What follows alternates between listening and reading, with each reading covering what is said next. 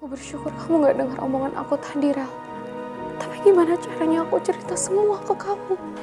Kalau nanti aku jujur, apa kamu bakal tetap nerima aku? Bahkan setelah tahu kalau aku udah gak suci lagi.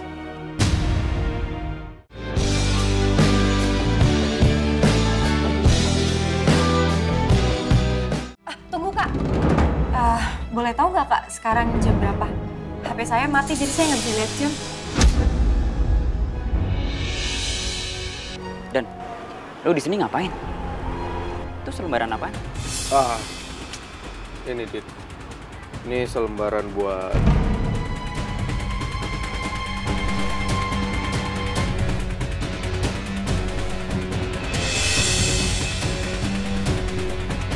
Mas Radit, Mas Radit bisa ikut saya sebentar? Tadi ada minimarket yang nanyain produk kita. Kayaknya mereka tertarik deh mau langganan. Oh ya, bagus dong. Ah, Dan, gue tinggal dulu sebentar ya. Gue ada kerjaan. Oke, oke. Yaudah, gue cabut ya. Eh,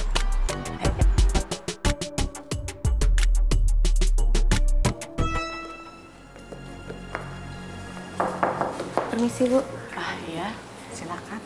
Ah, Shana, kamu ke mana aja?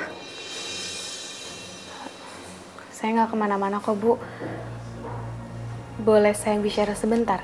Saya mau menjelaskan sesuatu, Bu. Silakan duduk.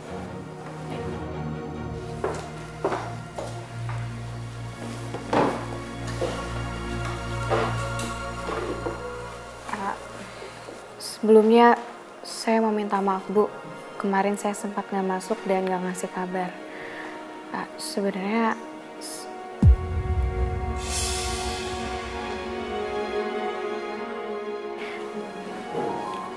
sebenarnya saya itu kemarin sakit, Bu, dan nginep di rumah teman saya. Tapi kenapa kamu susah dihubungin? Kakak kamu sampai panik loh nyariin kamu. Iya, eh, handphone saya bermasalah bu kemarin, jadi saya juga panasnya tinggi, jadinya tidur seharian. Ya udah, saya coba telepon kakak kamu ya. Karena saya sudah janji sama mereka ingin memberi pengumuman hilangnya kamu. Gak usah bu. Iya. Gak usah bu, soalnya tadi Shana udah ketemu sama kakaknya. Terus Isyana juga udah jelasin ke mereka. Jadi mereka juga udah lega karena Isyananya baik-baik aja bu. Syukurlah. Tapi lain kali jangan begini ya. Kalau mau nginep atau pergi, kasih kabar. Iya bu. Terima kasih ya bu.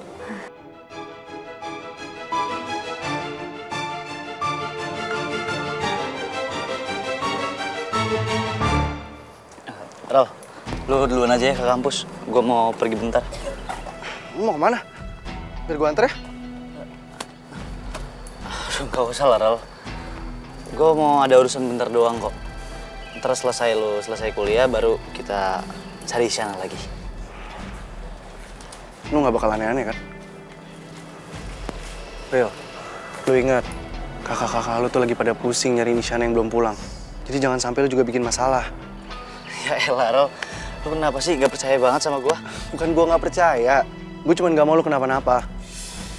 Iya, gue janji. Gue gak bakal macem-macem lagi. Percaya sama gue.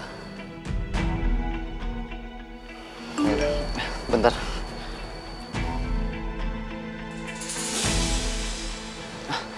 Uh, Rel, gue duluan ya. Soalnya ojol gue udah di depan gerbang. Ya udah deh, lu hati-hati ya. Hati juga lo. Yap, thanks.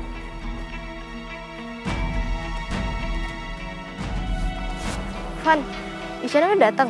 Alhamdulillah. Bilang Isyana ya, gue minjem pair fisikanya. Bentar lagi, gue samperin ke kelas.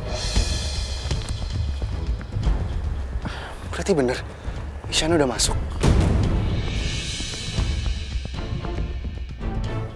Udah deh kalau gitu. Iya iya.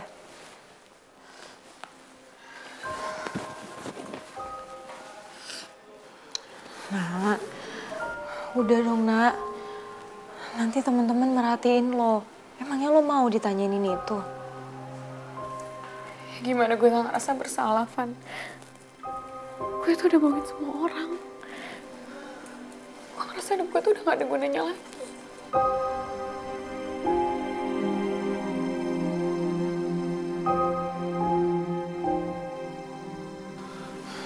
Udah ya nak, nggak usah diingat-ingat lagi. Gue tahu itu nyakitin buat lo. Gimana caranya gue lupain ya, Van? Kalau ternyata gue udah gak suci lagi.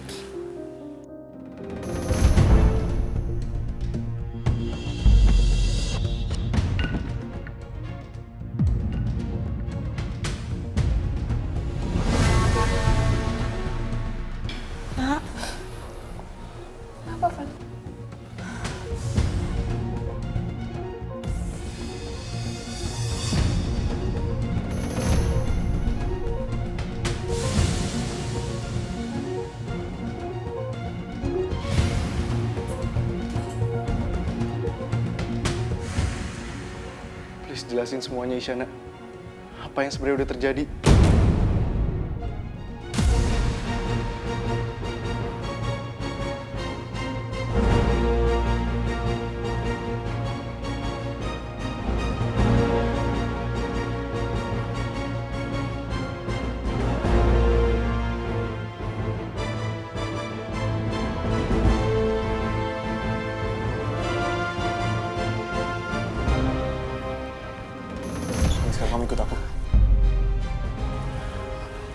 Ngomongin semuanya berdua.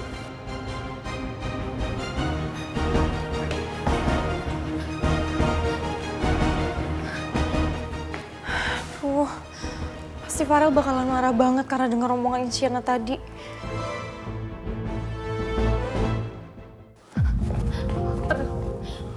Farel lepasin dulu dong. Aku butuh penjelasan kamu, nak.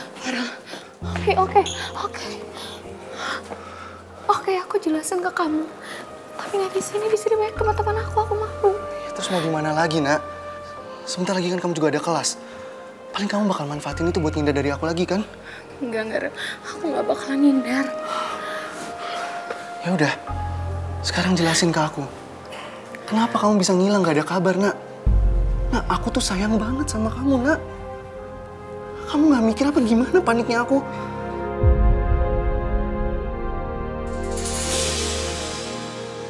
Siapa bilang sih aku nggak mikirin kamu? Ya, terus kenapa kamu susah banget dihubungin? Oh, apa jangan-jangan kamu jalan sama cowok lain? Sampai HP aja harus dimatiin segala.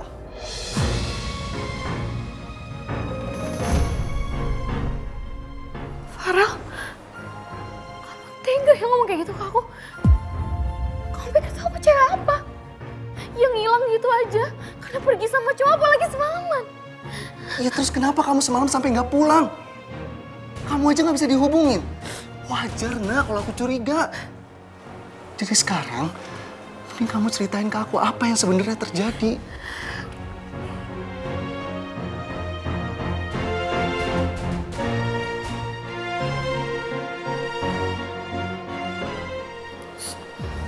Sebenarnya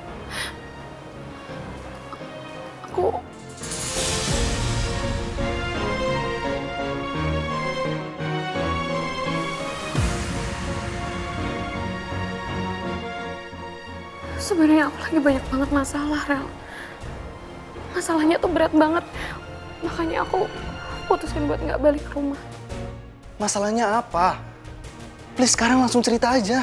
Ya nggak bisa sekarang dong, Rel. Di sini banyak teman-teman aku. Aku nggak bisa ngomong di sini.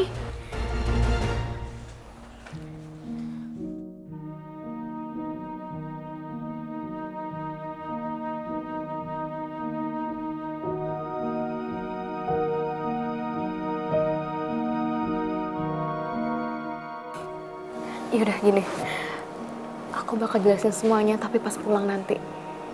Kamu jemput aku ya. Sekalian tolong bilangin Mas Ariel kalau aku baik-baik aja dan aku bakal pulang. Dan bilangin juga handphone aku hilang karena itu aku nggak bisa kabarin kalian.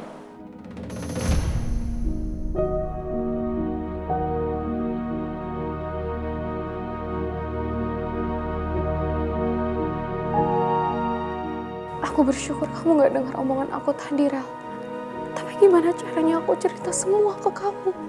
Kalau nanti aku jujur, apa kamu bakal tetap nerima aku? Bahkan setelah tahu kalau aku udah gak suci lagi.